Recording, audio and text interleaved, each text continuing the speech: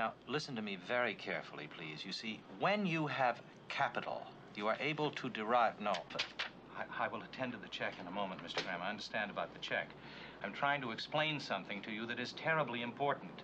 When we spend more per month or per year than we have in income, you must then dip into the capital, eventually exhausting the capital and, of course, therefore, the income. Do you see what I mean? Mr. Beckett, Hmm. this check must be paid. Graham, I'm and at once. I'm trying to explain to you that it is impossible to pay the check because your expenses have exceeded your income to such a point that you have exhausted your capital. Now you have no capital, no income, therefore no funds for the check, you see. Don't treat me as though I were a child, Mr. Beckett.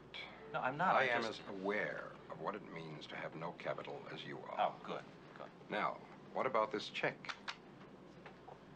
Well, are you entirely sure that you really do understand what I mean by capital, Mr. Graham? You see, you've exhausted the capital.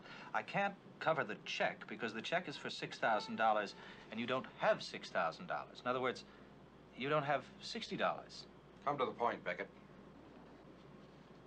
The point, Mr. Graham, is that you don't have any money. The capital and the income are exhausted and you no longer have any money. I wish there was some other way I could say it. What could I, how could I put it? Uh, that money, you have no capital, you have no income, you have, no, it's only money. It's mo- no, you have no money.